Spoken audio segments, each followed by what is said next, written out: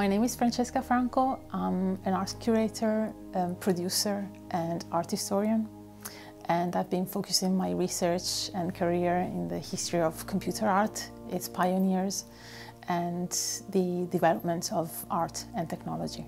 And at one point, I got to know one of them personally. This is Vera Molnar, who is a Hungarian born, Paris based artist, born in Hungary in 1924. And she's one of the greatest uh, pioneers of computer art. And she's been exploring this field for over 80 years.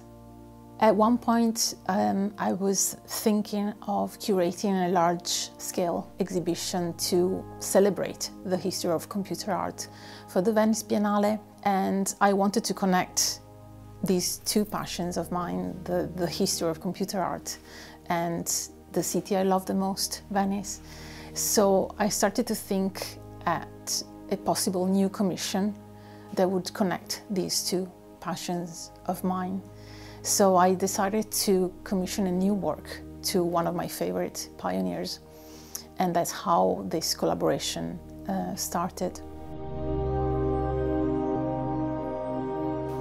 So this collaboration turned out to be one of the greatest experiences for me.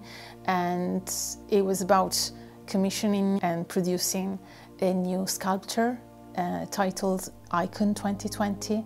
And this was a collaboration between the glass blower artist from Murano and Vera Molnar. This collaboration and the production of this work ended up being selected uh, by the Venice Biennale as a collateral event.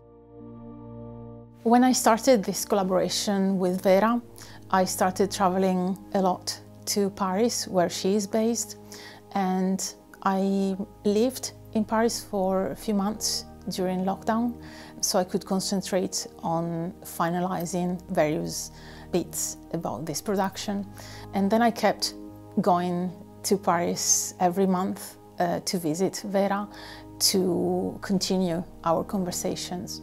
It all started as a project that ended up with this Icon 2020 work.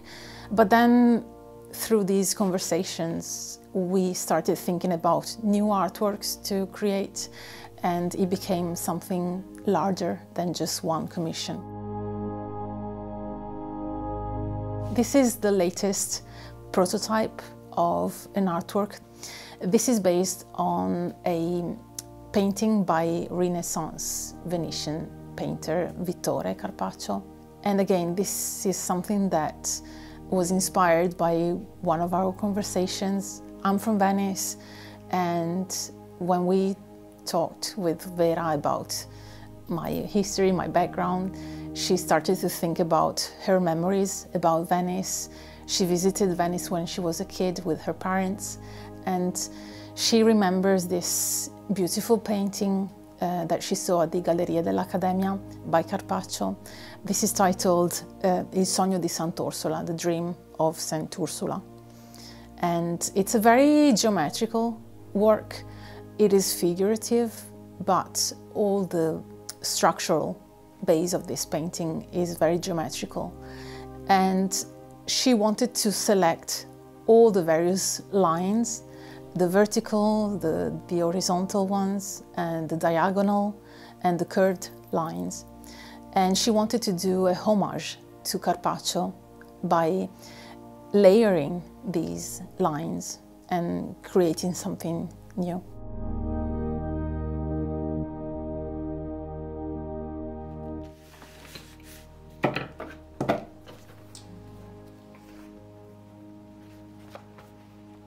So when I started talking to Vera, I mean, our friendship um, became stronger.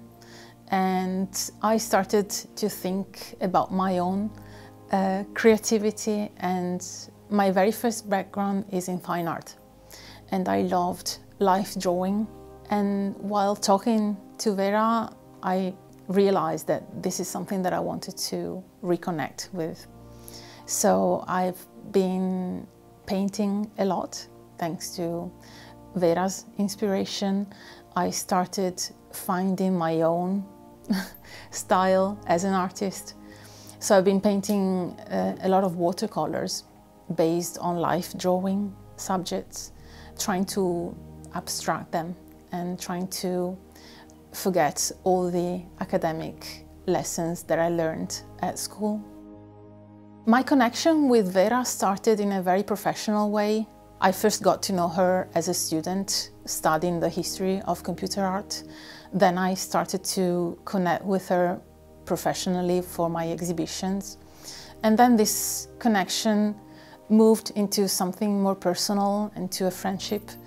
And so it's, it's becoming something more personal. And I think Vera taught me to be brave and to be fearless when I think about my work and and that's how I started to reconnect with my with my drawings, with my painting.